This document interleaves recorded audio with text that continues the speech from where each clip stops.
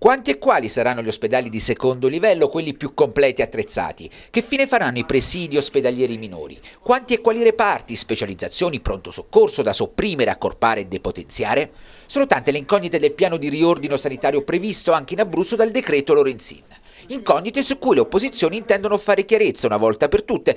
La materia di competenza del commissario straordinario alla sanità, Luciano D'Alfonso, il presidente della regione, e tutto al più dell'assessore regionale alla sanità, Silvio Palucci.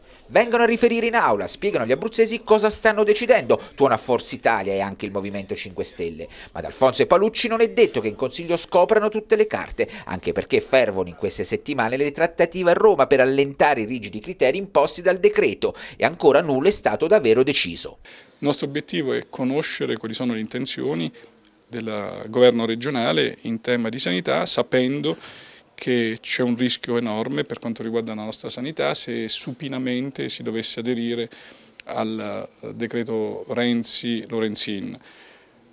Uh, a maggior ragione nel caso in cui le altre regioni italiane invece non dovessero farle, in particolare le Marche, o magari rimandarlo nel tempo. E questo creerebbe anche grandi problemi non solo per le aree interne quindi, ma anche per la mobilità passiva perché questo incrementerebbe la mobilità passiva, però vorremmo sapere, vogliamo sapere per esempio se l'Abruzzo ha l'ambizione di avere degli ospedali di livello qualitativo alto. La questione riguarda tutti naturalmente che parliamo di sanità, eh, che è la materia tra le più importanti se non la più importante della nostra regione ma anche delle altre regioni.